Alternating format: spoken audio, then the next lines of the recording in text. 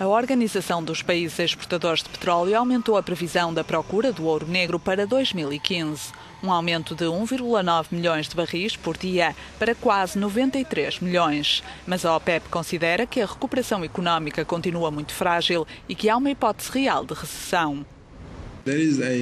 Há uma tendência de diminuição da procura por causa da economia, uma série de incertezas na economia mundial. A OPEP também prevê um aumento da capacidade de produção para 8 milhões de barris por dia até 2015, face a uma média de 4 milhões em 2011.